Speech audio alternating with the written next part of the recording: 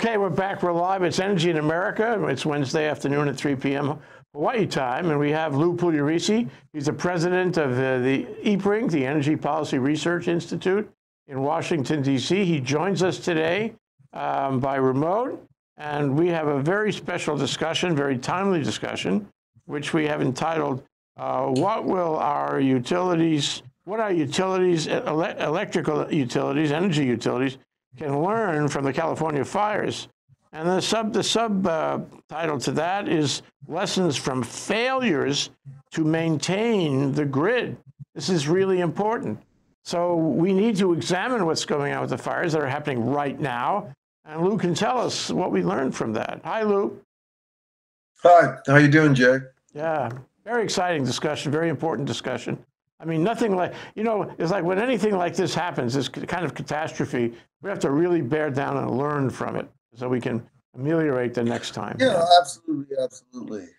And, you know, I have a certain point of view on this. I'm sure you can challenge some aspects of it, but let's look at some of the conditions, as they say, in the ground, or sort of the objective conditions.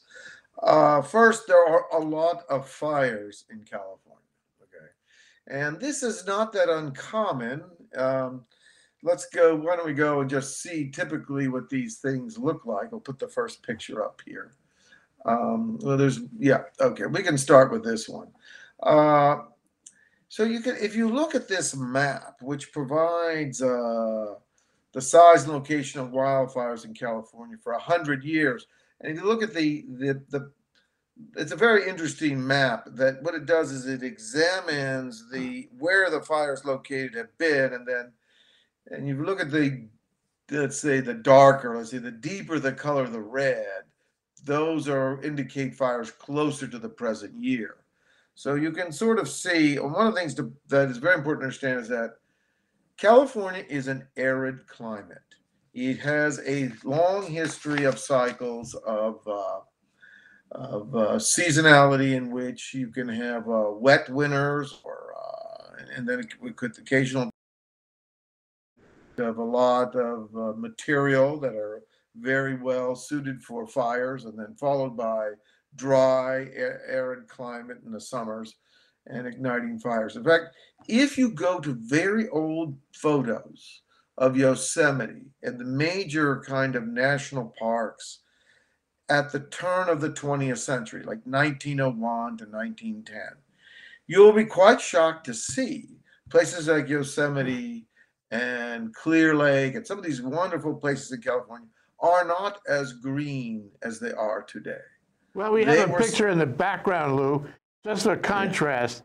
Uh, maybe the engineer yeah. can show this picture. Yeah, there it yeah, is. yeah, it's a beautiful photo. This like is Napa Sonoma, Napa Valley, that sort of thing. Yeah, it's really beautiful, and it doesn't look like a place where a fire could grow. And yet, yeah. that's exactly what happens. Exactly. Now, what happens is, historically in California, this huge amount of fires would race through uh, the California forests and parts of the terrain and just wipe out lots of trees and underbrush. But that was the fuel for future fires, right? And so fire is and and fire management in California for many years went through a period of suppressing all fires, right? Fires was a natural part of the ecology of the California system, right? So we went through a long period where we suppressed fires. And I think uh, that resulted in a huge amount of fuel. Next, the state of California uh, used to have a very active uh, forest management program in which they had either controlled burns or lots of logging or some logging, some clearing out of underbrush. And this became dis- a, a management style that was not favored by uh, the environmental movement, ecologists, all the people that live along the coast who think they, you know, have a good feel for what the nature of nature should be. So these two things have, and, and then this combined by the fact that a great number of, as the California population grew, you have more and more housing moving into the deep forest or the edge of the forest. And uh, California always had a policy of hooking everybody up to the grid. So that's that's the kind of basic framework.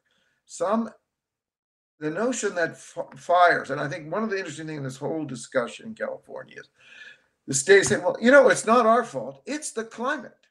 But actually, it is their fault. Climate, climate, this cycle of uh, wet winters and drought and arid conditions is a fundamental condition of the climate, terrain, and the ecological lifestyle of California. There's nothing you can do about it. It's been there for millennia. Well, this Now- reminds me of eruptions in Hawaii. You know, you have Yeah. eruptions such as we had a year ago now. Um, and the eruptions were predictable that someday they would happen. They had happened before, and it will go on for millennia. We'll have eruptions in that area. It's easy for a scientist to be able to say that. But at the same time, the state of Hawaii and the county of the Big Island, um, you know, was giving permits uh, and uh, thus encouraging people to live in the rift zone right there, uh, knowing Yeah. that there would be an eruption. So I wonder, you know, and you don't have to talk about it now, but sometime in our discussion here today, we should talk about whether the same kind of analysis applies to the California fires. If you know there are going to be fires in a certain area, you really want to encourage people to build up, build right up to the line where you know the fire will be.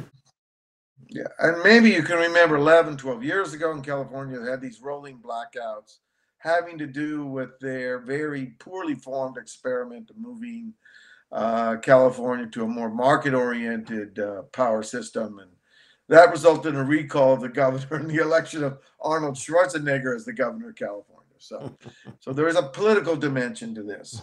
So if we go to the next picture, you can see that. Um, the California Department of Forestry and Fire Protection spends a lot of money on suppression. Now, some of the suppression is putting out fires, and some of it is a kind of preventative uh, work. Mhm. But you know, they are spending a lot of money on suppression.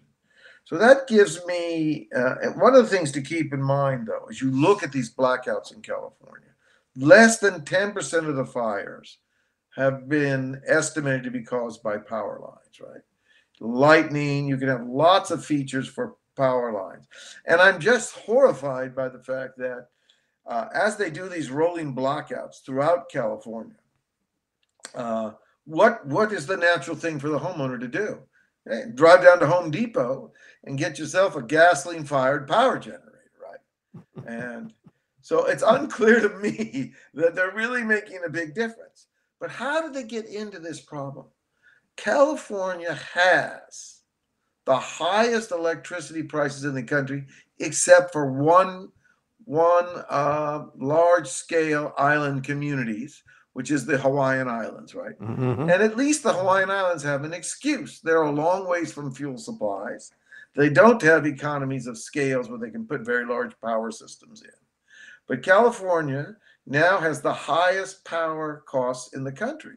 Well, So what, what would you they do? attribute that to? What What are the causes? Because California can can click into other grids. California has lots of Yes, resources. The California, and I've shown you these uh, uh, slides before, these uh, graphs on this before. This can be entirely uh, attributed to the California Renewable Fuel Portfolio Standards, the commitment to so called cheap wind and solar, all of which have created a very high cost mix. And so here is the interesting question. It's at some point, some politician is going to figure this out, some competitive politician, and is going to say, I don't understand. We spent all this money for uh, reducing our climate footprint. We are less than one, we are considerably less than 1% of worldwide emissions. We have the highest electricity prices in the continental US. Why didn't this, did, why did we put more money into sustaining and strengthening the grid? Clearly, even from a climate point of view, adaptation and looking at the if you if you were to believe that fires are going to be more frequent, that they're going to be uh, driven by a higher frequency of arid conditions or hotter conditions, why didn't this money go into substantial uh, let's see, reinforcement and resiliency of the grid. Let me, let me, let me stop are you there for a minute, Lou. Why, why is a more resilient, uh, reinforced grid, a stronger grid, uh, even a more high-tech grid, why does that prevent fires? Um, why? Well, for start, why do we care? far- So the first thing is, uh, if you have newer equipment, it's not going to spark. It's just not going to spark. Um, second, uh, it's not going to fall down. It's not. Second, um, you could you could think about in some high critical areas, even putting putting the lines and the power systems underground. That's not. I mean, California has something like eighty-five thousand miles of uh, above ground wires. Yes, it's been estimated that would cost probably $250 billion to put it all underground. Mhm. But you really have to ask yourself a more fundamental question. They spent a ton of money, a ton of money, billions and billions of dollars to implement a climate friendly grid. But they didn't spend the money on uh, making the grid more resilient, looking at different kinds of strategies. And by the way, this is not just money, this is a brain power problem. If you put all your smart people working on a problem with very marginal return, they're not working on these other problems. And I really think this is going to be a big political problem at some point. Uh, right now, it's just everyone's angry and they're saying, well, this is the fault of PG&E, Pacific Gas and Electric, because they must be greedy. They've they put money into paying their bond dividends. But here's the story that no one likes to talk about. Pacific Gas and Electric Company is a regulated utility. It has a board. It has a board of commissioners. Those commissioners decide what the priorities are, what should be looked at, what should not be looked at. And as the Wall Street Journal reported today, the PG&E can give you a very precise estimate of how many uh, employees are uh, members of a large array of minorities. It cannot give you a good estimate of where it needs to deal with its uh, failing infrastructure. And I think that that is a kind of sort of watchword or kind of uh, insight that says, what were these guys looking at? And I think the politicians can effectively say, well, it's not us, it's PG&E, they're incompetent, we should take them over. But nobody's going to take over PG&E. No government's going to take it over. It's much too expensive. They have themselves in a really hard position now. Mhm. And I want to go, we don't have to look at all of these pictures here, but let's take a look at the, uh, first let's take a look at the next picture, the, uh, the number of acres burned in wildland fires. Yes, if you look from 1980, now if you look over 100 years, you get a picture that's a little more balanced, but you can see that the number of acres burned in wildland fires from 1980 to 2018 has been on the rise, has increased. And then uh, let's go uh, to the next uh, to the next slide. Uh, all right, I think this is the most interesting picture. This shows the percentage of towers. Now, these are a lot. You know, if you drive through the California countryside or freeways, you see these large uh, tire, these large towers. They're either 115 or these big 230 volt kilowatt tires. I mean towers. Now, these towers are in operation now. And if you take all the towers installed between 1900 and 1930, okay, I'm not saying that is over 35% of the total electrical towers installed in California. Now, are you telling me that um, we have not replaced over 35% of the towers in California, which are nearly 100 years old? This is very outdated technology. In some cases, the transformers have been upgraded and there's other things. But in fact, this to me is a kind of negligent uh, investment in the grid. It's a terrible problem. And it's because frankly, our political leaders in California focused on the wrong problem. They will put it off and push it on to PG&E, as much like I suspect happens with HECO in in uh, Hawaii. But it is a regulated utility. Well, And it just some- strikes me as a matter of American history. Back Yeah. in, uh, say, 1900, California was feeling its oats. There was a lot of development there.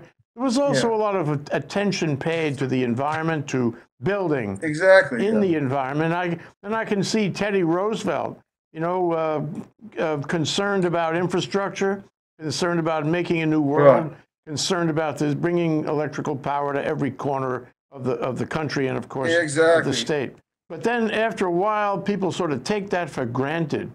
It's like uh, Spencer Abraham, who was the um, energy uh, secretary back in the 80s or something, and there was a big, um, a big blackout in the Northeast. And they said to him, What's the matter with you, Spencer? You know, how come we had this blackout? He said, Maybe you haven't noticed, but nobody's put a dime into infrastructure around the grid in decades. And you have Yeah. to do that. You have to rebuild it all the time. And this is another example of the same thing. This is another example, and I just think it also, by the way, even PG&E has gone and said, look, this is a high risk area to bring power into, very high risk fire area. And the state Supreme Court said, that's too bad. Under under California law, you are obligated to bring power to those areas. You have to bring it into those areas. So I do think it's a little bit about it's sort of a little bit about the uh, volcanic uh, eruptions you were discussing. The government has to take some responsibility here. They are the ones that set the rules, and they can't wiggle out of this as they're doing in California right now. You could argue there are other issues too, right? The lack of low income housing requires people to drive hundreds of miles often to get to work because uh, zoning laws prevent the construction of more housing in urban areas. I mean, there's a whole list of things that are tied to this. And I'm almost positive the dialogue about California are going to be look, this is another example of the climate crisis. But it's also an example of a failure to respond to the climate crisis in a cost effective way. hmm Let me, but let me ask you one question that's just been working on me for the, the past few months, and that is: so you have a big fire, and uh, PG&E decides it's going to cut the power. Um, it's going to cut the power to a given community, and that's going to somehow reduce um, the possibility that the fire will spread. How, how does that work? Why do they No, do no, I think I think they, they do it prospectively. They say, okay, the winds are up, it's hot, it's dry. So here's an area where we have a lot of towers, a lot of power, older infrastructure. So we are going to cut the power there because that will be uh, it will be less likely to create a spark or a set of conditions. So they try to do it as a prophylactic measure, but um, it's it's quite debatable on how effective that is. As I said earlier, less than 10% of the fires can be attributed to a spark or an electrical lightning, uh, campfires that get out of control, weather conditions. Lot, there are lots of other things that cause the fire. Mhm. Fire is a common condition of the California ecosystem. That's and it's uh, man has tried to manage it in different ways, probably in very ineffective ways with poor forest management. And uh, we're going to see whether there's going to be a reckoning of this. I believe this is a very serious uh, economic problem for California. It's causing more people to think about leaving and moving their businesses. But it's also a serious political problem for the leadership. Well, and a financial problem.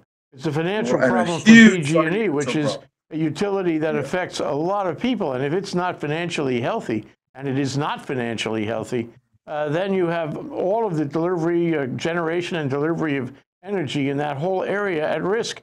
Who is? It's too big to fail, but who is going to step in and save it? You, you can put them through bankruptcy, fire all the corporate leadership, that's fine. You are still left with that capital asset, which has to be managed by somebody. People are going to say, okay, well, let's start over with a new utility. It's not going to work that way. That infrastructure has got to be repaired. And even the most modest estimates suggest it's a 10 year task and it's a very expensive task. And at some point, you're going to have to ask yourself did the political leadership in California, when they spent this tons of money on uh, renewable portfolio standards and all kinds of uh, kind of costly uh, fuel choices and other measures, did they really understand where the return was for that money? Would they not have been better off putting that money into strengthening the grid, uh, taking a view that, okay, climate's a problem, but let's adapt to it, instead of trying an expensive program to reduce emissions, which are less than 1% of world emissions? Well, well, well, that is my lesson also for the Hawaiian electrical system, because where are you spending your money in Hawaii on the electrical grid? Let me uh, let, me take this moment, just just a moment, uh, and make you the governor of, of, California. I like I like appointing people in high positions. so just for a moment, let's make you the governor of California. Here we are. The fires are still burning. It's not clear, uh, you know, that uh, PG&E knows what to do, or or whether uh, you know it will have a really big financial problem at the end of the day. I think it will. Um, and all these people, they're being di displaced. Uh, and, and the problem in terms of the grid and the towers is not being addressed and solved at all. So we're in this kind of spasm, this crisis, uh, or California is anyway, which is going to affect them long term. So here you are, you're the governor. What do you do? So you know this is an interesting thing because this is also a income inequality issue. If you go to the wealthy neighborhood of Montecito, you know where Oprah lives in Santa Barbara, mm-hmm it's a very pro- it's a very fire vulnerable or prone area. But Montecito has a lot of money, so they have enormous brush control, fire breaks. They spend a ton of money, and there was a major fire a few years ago that ran through there. Very few homes were touched. Mm-hmm. So um, it is, in my view, it's just like the problem with renewables the elites say, okay, let's have wind, let's have solar, let's do all this other stuff. But it is the it is the lower income groups that pay the cost. They have high power prices and they don't have the kind of infrastructure management which can improve the the sort of safety and reliability of the grid. This is a huge political issue. And whether or not the political leaders can dodge a bullet on this. I have no idea. But I keep saying, you know, somebody's going to think of, think about this and run for office on it, and it's mm-hmm. going to resonate with a lot of people. Mm-hmm, mm-hmm. So I do think all my friends who think that climate is the only issue facing America need to step back and say, you know, how can we proceed with something that actually addresses some of the risks of climate rather than feeling good about reducing our emissions in areas that have no effect on the overall number. So what do you do? I mean, what, I suppose what we could do is we do what Oprah does. Uh, we could, you know, build all kinds of defensive resilience measures yes. in the community. We spend a lot of money, and we could we could also we could make houses. All these houses have been burning down. They have to be rebuilt. I, I hope they will. And, yes, you can have a lot of this is these wooden roofs. You can put uh, different kinds of tile, fire resistant tiles on the roofs. Cost money. There are many things you do. They cost money. You have to, and the other question is, you could forbid construction in high risk zones. Yes, just, just like the eruptions. Just like the eruptions, there's a lot of intelligent things you can do, but you have to put the brain power on the right problems. Mm-hmm. If you have the brain power working on things with very low return and very little use for the general public, this is what happens. And the brain power is, of course, the government, or, or must be over, over time. In this case, the government and all their friends in academia who have these great ideas sure. that sometimes are not that practical. Right. But let me ask you about the insurance. Because, I mean, when you, when you finish looking at this, this, uh, this, this charred landscape and all these people sitting in soup kitchens, you say, where's the insurance? Do they have insurance? Is insurance required? A lot of people do have insurance, but I mean, you know, some of them uh, are not insurance. These are many, many cases lower income people, and I think their insurance is inadequate for rebuilding. And probably the insurance costs in some of these zones is going to be just enormous. You know, you're go, you're not going to be able to rebuild where you were. So I I do think you know there's going to be money. PG&E they expect that the cost to PG&E itself, just their liability cost, is somewhere between 15 and 20 billion dollars. So Yeah. there's a huge amount of money. No gonna go out the door. surprise, and that could, that could, uh, you know, that could cripple uh, PG&E for a long time. But likewise, you know, it can cripple the insurance companies. And, and you know, if you, Oh, were- if you were a carrier and you were thinking about uh, selling insurance in the state of California, fire insurance, uh, you'd think twice right now, wouldn't you? Oh, I think, and you're not going to issue policies at any of these risky zones. You're going to have a very hard time getting insurance. Yeah. So I think you know there's a lots of, uh, let's say, second order effects or unexpected outcomes of things that seemed like a good. You know, if you go talk to people in California, they'll say, "Well, it seemed like a good idea at the time. You know, it did, but you know, here's where we are." It's, you know, it's very mellow because, you know, we, we sit at the TV and we see these horrendous pictures of this fire sweeping across the landscape and the nightscape. We see everything in sight burning. It's like a bad movie. It's like one of those catastrophe movies. And you realize that it's happening right now today, but Yeah. it doesn't affect you at all. If you're in Washington, you know, this is 2,500 It miles doesn't away. affect you. Live in a- rich beach community in California. Doesn't affect you. You're, you're well protected.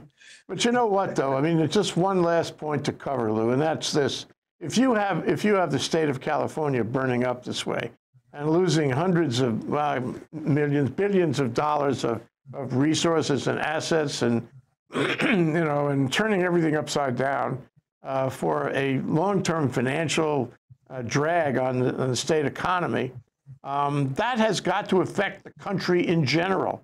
That has got to have an Yes, effect it on is other not- aspects. The mis, I mean, look, you could argue that this is just a disaster, unfortunate, unpredictable, but this is very predictable. Anybody who knows anything about the ecology and the sort of patterns of California could have predicted this with or without a changing climate.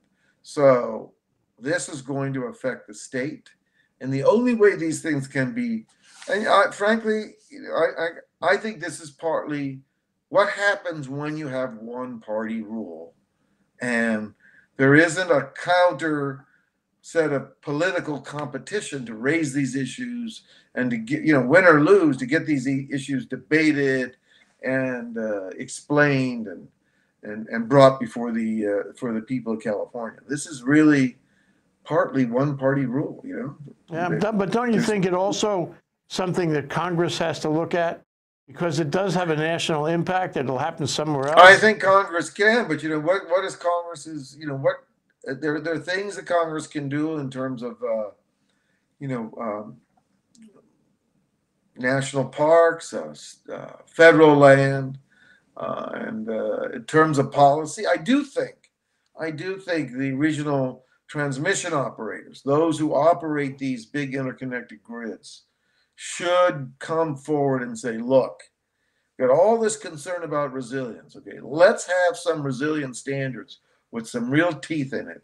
If you don't build a resilient grid, you're, there are going to be penalties. There are going to be penalties. I totally agree. Well, Lou, thank you. This is a very interesting and timely discussion. Thank you for raising all these issues and uh, making us think about it. Um, I look forward to our next discussion two weeks hence. Um, and I always enjoy, uh, you know, the, the explorations and discoveries we do with you. All right, great. Thank you, Jack. Take care, Lou. Lou Pugliaresi, uh, president of EPRINC. Aloha. Yeah.